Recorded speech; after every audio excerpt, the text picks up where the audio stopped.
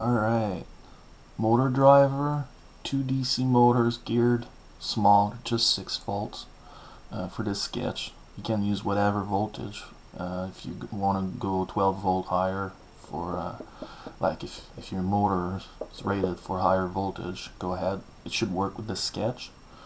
A nano joystick and I had it a pot. I thought the pot would be a good idea to control the speed so the original sketch forward backward left right. But I can still adjust the speed. With this. I can put it slow. Or max. And this is applied to all directions. Left right. Bring it down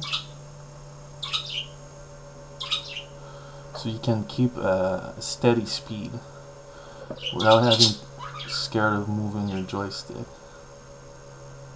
It's kind of cool